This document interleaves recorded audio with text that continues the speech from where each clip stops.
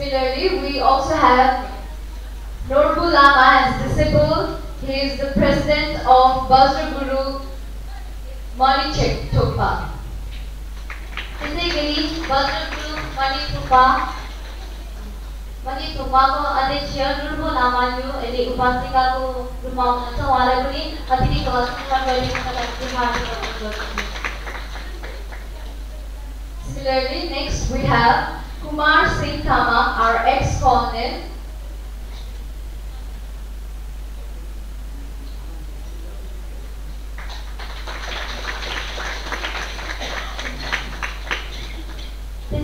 हाम्रा पूर्वाज सेनापति कुमार सिंह तामाङज्यूलाई पनि विशेष अतिथिको आसन ग्रहण गरिदिनुको निम्ति हार्दिक अनुरोध गर्दछु Now I would like to welcome all the disciples and followers of Buddhism and would like to request all to take the seats of guests. Thank you all.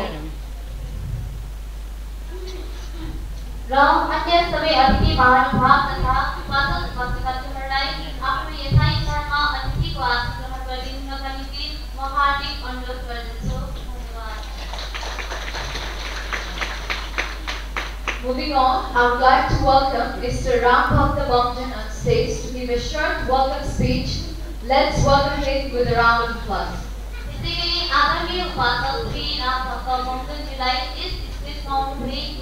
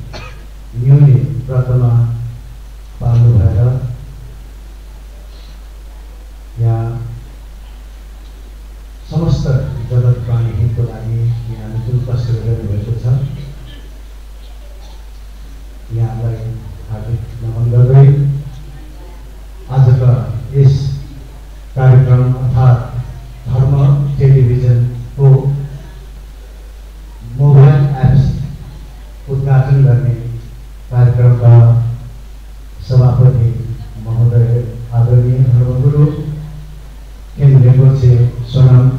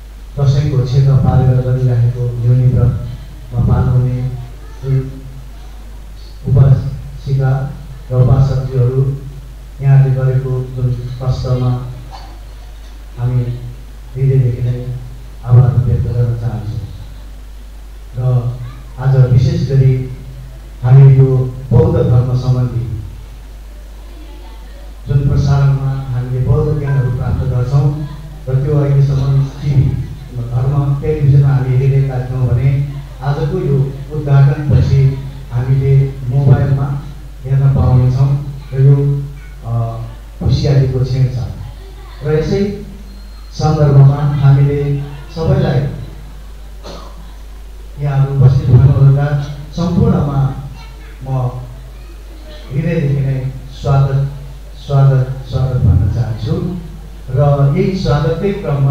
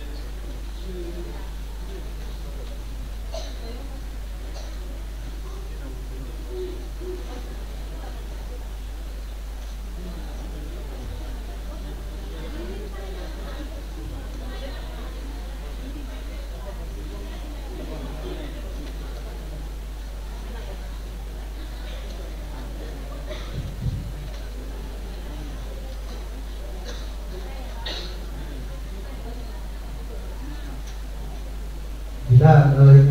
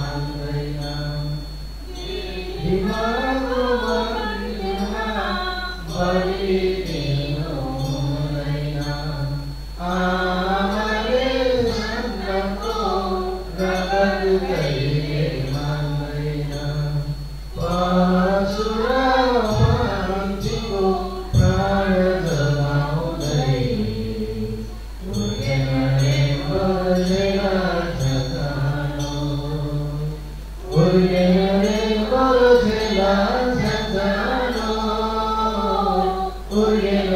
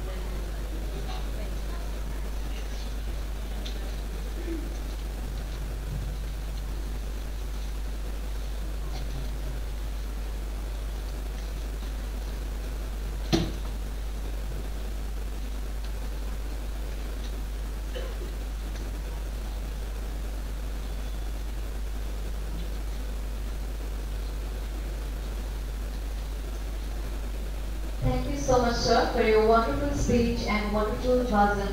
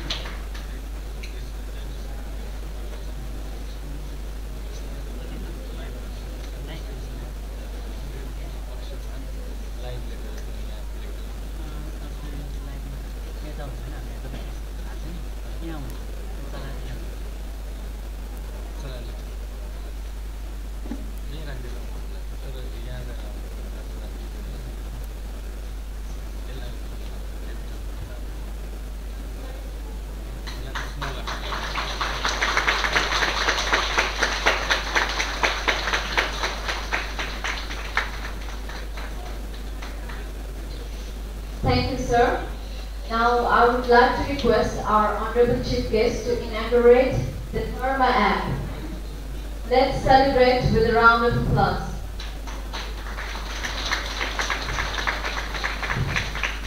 धेरै धेरै धन्यवाद उहाँलाई दीप प्रज्वलन गर्नुभई यस कार्यक्रमको शोभा बढाइदिनु भएकोमा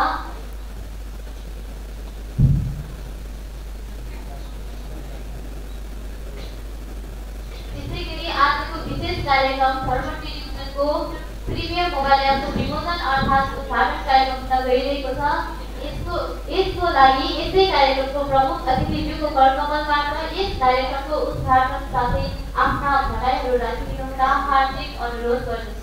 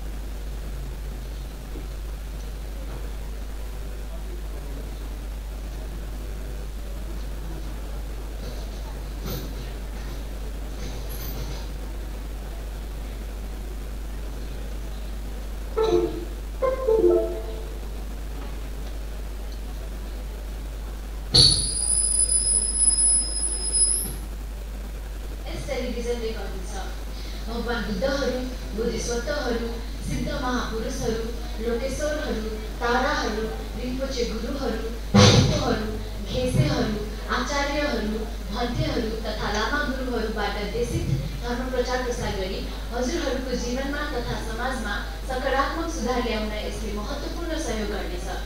ल अब भने हजुरहरूलाई धर्मचरित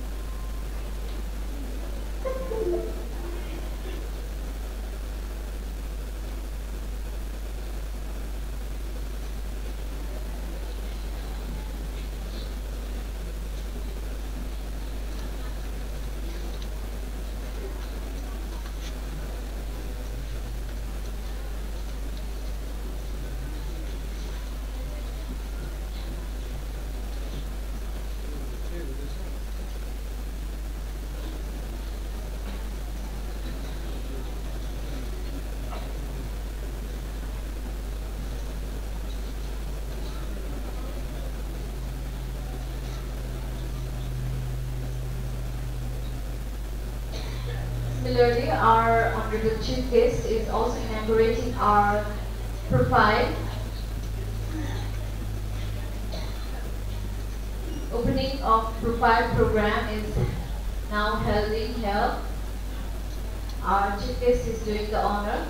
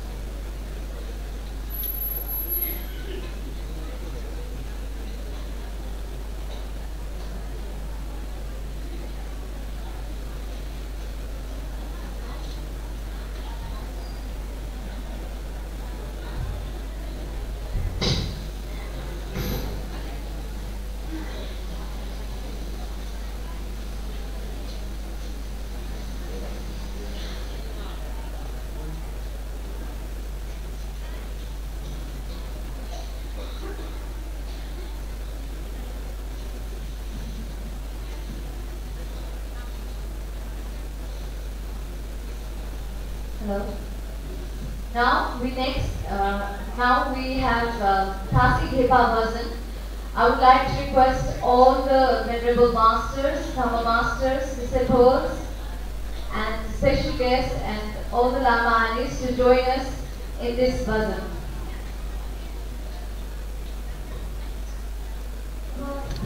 Shastra dharma guru, sa anya dharma guru, वाचन हुन गइरहेको छ।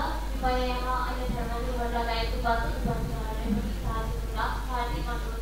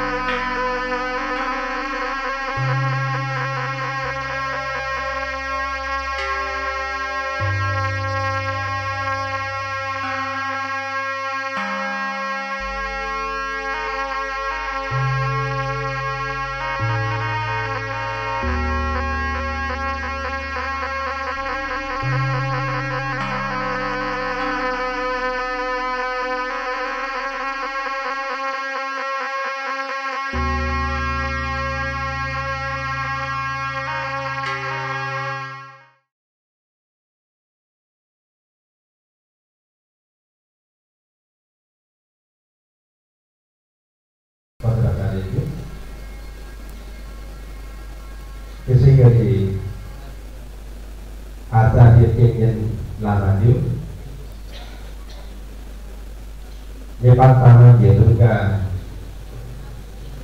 उपाध्यक्ष वरिष्ठ उपाध्यक्ष जेरी तामाङज्यू पनि यहाँ देखिनु जस्तो लागेको थियो अनि नेपाल तामाङ घेदुङकै महासचिव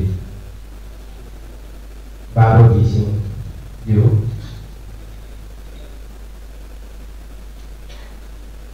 अन्य अ, विशिष्ट अतिथि महानुभावहरू यस कार्यक्रममा सहभागी विभिन्न जिल्लाबाट विभिन्न गाउँबाट विभिन्न गुम्बाहरूबाट पाल्नुभएका आदरणीय लामा गुरुजीहरू र यो कार्यक्रम एउटा मोबाइल एप्सको यो विमोचन कार्यक्रम मात्रै नभएर यहाँ उपासनाको लागि पनि यहाँ धेरै महानुभावहरू उपासकहरू उपासिकाहरू यस कार्यक्रममा सहभागी भइराख्नु भएको छ। उहाँहरू सबैलाई मेरो आफ्नो तर्फबाट स्वीकार्नुहोस् हार्दिक अभिवादन नमस्कार नासु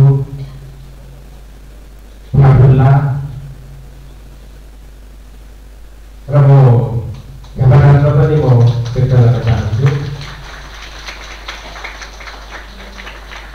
वास्तवमा हामीले आज एउटै समारोह मार्फत दुई अलग महत्त्वका कार्यक्रमहरू गरिरहेका छौँ मलाई के विश्वास लागिरहेको छ भने हामी यो समाजको रूपान्तरणको लागि अनेकन उपायहरूका हामीले खोजिरहेका छौँ हुन त यो धर्मशास्त्रको कुराहरूलाई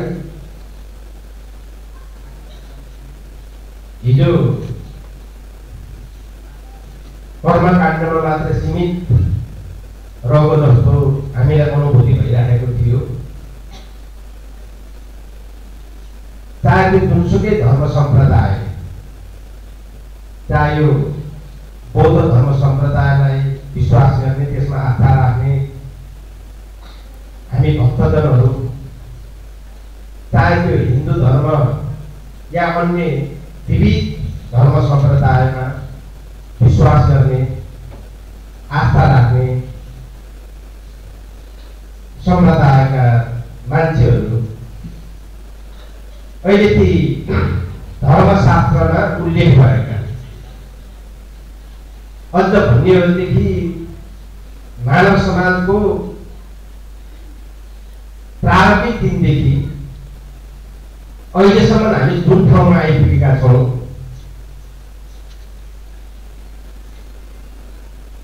त्यसलाई जसले जुन जुन अवस्थामा लिपिबद्ध या कतै कतै लिपिबद्ध रूपमा कतै श्रवणको रूपमा मात्रै पनि किन नहोस् जो उल्लेख हुँदै आएका थिए त्यसलाई लेखेर आएर हामी सबैले आफ्नो तरिकाबाट आफ्नो बुझाइ अनुसार त्यसको अनुसन्धान गर्ने त्यसलाई बढीभन्दा बढी जीवन उपयोगी बनाउने र त्यो आफ्नो आस्था र विश्वास अनुसार त्यसलाई सिङ्गो समाजमा विस्तार गर्ने प्रयत्न भइरहेको मैले अनुभूति गरिरहेको छु त्यही हिसाबले भन्नुपर्दा हामी आज जो यो मुस्ताङ गुम्बाको हलमा रहेर यहाँ थुप्रै आदरणीय गुरुहरू र उपासक र उपासिकाको रूपमा उपस्थित रहनुभएका महानुभावहरू जसले यो समाजलाई कसरी अनुशासित बनाउने? यो समाजमा अहिले भडिकिलो बन्दै गइरहेको मानव जीवन जीवनलाई कसरी सरल बनाउने?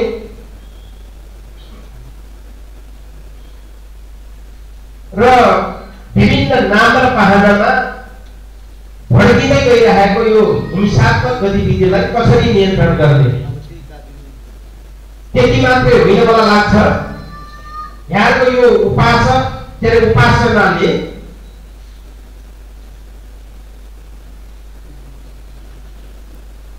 मानव जीवनलाई कसरी स्वस्थकर बनाउने? मानवहरूलाई कसरी दीर्घजीवी बनाउने भन्ने उद्देश्यबाट पनि यो प्रेरित छ भन्ने मलाई लागिरहेको छ। र त्यसको साथसाथै हामीले अर्को एउटा कार्यक्रम पनि अहिले भर्खरै सम्पन्न गर्यौँ। धर्म टेलिभिजनको मोबाइल एप्सको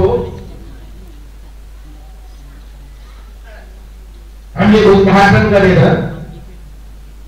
या त्यसको विमोचन गरेर यो महत्त्वपूर्ण कार्यक्रमको पनि हामीले थालनी गर्यौँ। आज भन्नुहुन्छ भने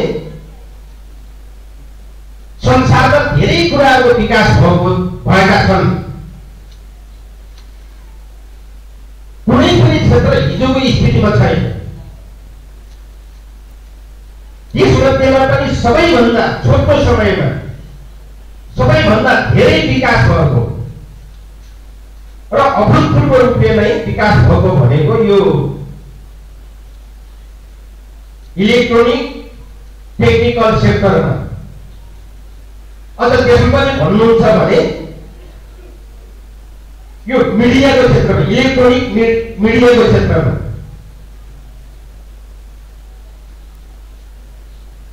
अहिले संसारलाई यो मिडियाको माध्यमले एउटा सानो गाउँमा परिणत गरेको छ। हामी जुनसुकै ठाउँमा रहे पनि यदि संसारमा कुनै किसिमको एउटा अनौठो अनौठो खालको या सामान्य खालको घटना घट्यो भने त्यो मिडियाले हाम्रो सामु ल्याइदिन्छ। यदि हामीले चाहना राख्यौँ र मिडियाको पहुँचमा हामी रह्यौँ भने संसारको कुनै पनि प्रकारको घटनाबाट हामी अलग हुन सक्दैनौँ त्यसबाट हामी सूचना प्राप्त गर्न सक्छौँ हामीले हाम्रो ठाउँको घटना परिवेश या सन्दर्भलाई पनि त्यही मिडियालाई प्रयोग गरेर हामीले संसार व्यापी बनाउन सक्छौँ। आज हामी छुट्टै सन्दर्भमा कुरा गरिरहेका छौँ। हामी बुद्ध धर्म को एउटा विशिष्ट पक्ष भनेको अहिंसा शान्ति को कुरा गर्छौँ त्यसले हामी यो धर्म टेलिभिजन मार्फत अन्त अहिले भर्खर हामीले विमोचन गरेको यो मोबाइल एप्स मार्फत हामीले आज यो हलभित्र जुन सन्देश दिने प्रयत्न गरिरहेका छौँ या दिइरहेका छौँ यो मोबाइल एप्स मार्फत यति मात्रै काम हुने छैन। यदि हामीले चाह्यौँ भने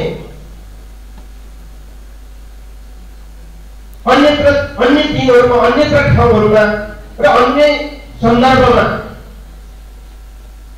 हामी यस्तै प्रकारका कार्यक्रमहरूलाई आम श्रोताहरूको बिचमा आम भक्तजनहरूको बिचमा र आम मानव समुदायको बिचमा लैजानको निमित्त सम्भव भएको छ र त्यसको निमित्त म धेरै कुरा गर्नुभन्दा पनि हाम्रो धर्मगुरु सनत गिर्मी तामाङज्यूले जुन यो एप्समा जुन अपेक्षा राख्नु भएको छ जुन उद्देश्य राख्नु भएको छ जुन लक्ष्य राख्नु भएको छ त्यसलाई पुरा गर्नको निमित्त अवश्य पनि यो मिडियाले यो रेडियो एप्सले के अरे मोबाइल एप्सले अवश्य पनि आफ्नो उद्देश्य पुरा गर्नको निमित्त भूमिका खेलिदिन्छ भन्ने अपेक्षा विश्वास राख्दै फेरि पनि यहाँहरू सबैलाई म एकपटक एकपटक अभिवादन नमस्कार। लासो फाफुल्ला दुदोलप्पा पासी ढिले व्यक्त गर्दै म यहाँहरूको बिचबाट बिदा हुन चाहन्छु। हस्त नमस्कार।